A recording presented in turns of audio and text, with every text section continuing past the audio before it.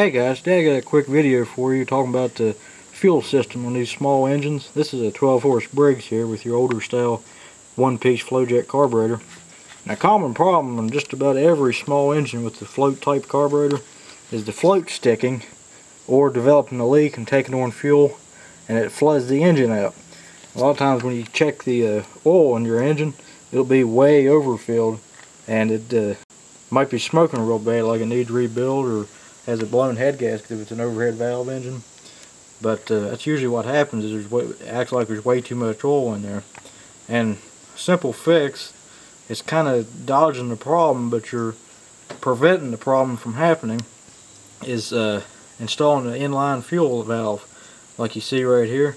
That way every time you get done cutting grass or run your mower around or whatever, you just shut your valve off and what I do, you don't always have to, is uh, after I shut the valve off, I let the engine run out of gas. That way all the gas is uh, used up out of the carburetor. That just prevents it from gumming up or anything. And if you do this every time you shut it off, you never have to worry about the engine flooding out. On these older carburetors like this, you just never know when that float could develop a leak and uh, sink down and let the uh, carburetor overflow with gas. And it's even more of a problem on these newer carburetors, the two-piece carburetors. These will, uh, this happens all the time on these.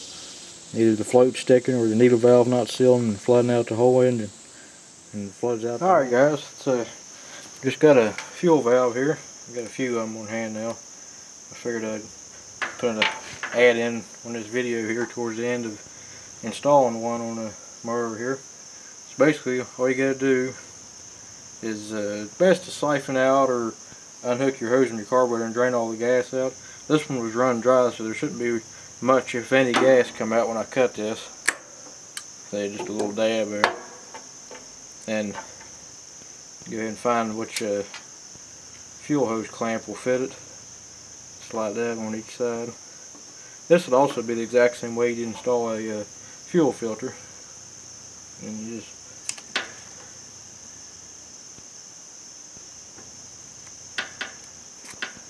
that line up on there on both of them.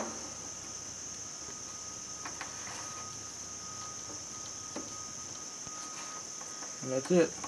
I forgot to notice, but there's a uh, arrow pointing this way, and that means the fuel flows this way.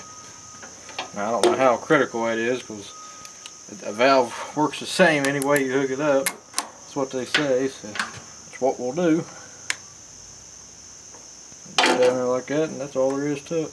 It's off and it's on. Any valve like this, when it's pointing like that, that means it's on. Just think of it like an arrow pointing that way. And when it's off, think of it like a block right there so it can't go through. So that's ready to go there.